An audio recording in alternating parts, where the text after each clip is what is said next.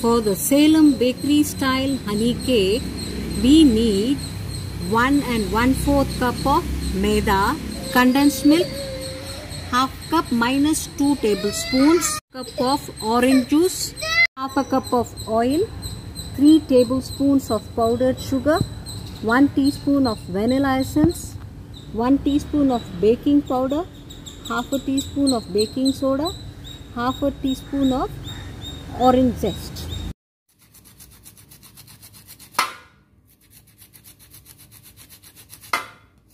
For the topping, boil half a cup of water with 2 tablespoons of sugar. Let it boil till lukewarm. Then mix in 1 4th cup of honey to it. Mixed fruit jam, 4 tablespoon of it was heated with 1 tablespoon of water and microwave for 40 seconds and whisked. We also have some desiccated coconuts to be sprinkled on the jam topped cake. Sieve together maida, baking powder and baking soda. baking soda. This infuses air and helps the ingredients combine well. Take another bowl, add the condensed milk into it. Add orange juice, Orange juice, lime juice, lime juice, sugar powder, sugar powder, add orange zest, orange juice, add the essence, add the essence, add oil. add oil, Mix well with a balloon whisk.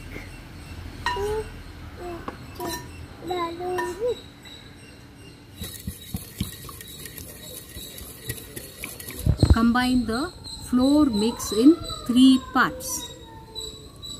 Gently cut and fold.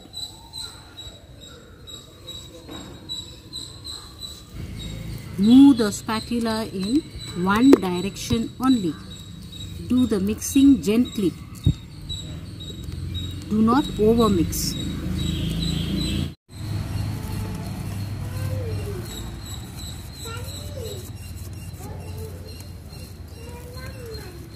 The final batter should be of this pouring consistency. Grease a 8 inches square mold and place a parchment at the bottom. Gently pour the batter into the mold.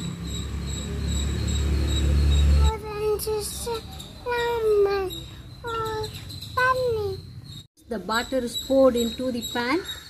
Give it 3 taps. This removes the air bubbles.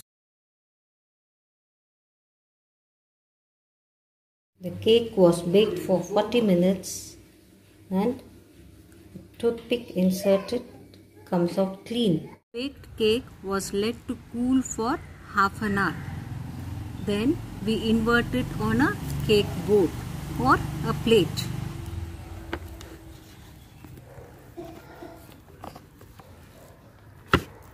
Once the cake is inverted, gently remove the parchment paper. Make multiple holes on the cake using a toothpick. Spoon the water and honey liquid onto the cake. Spread the jam on the cake.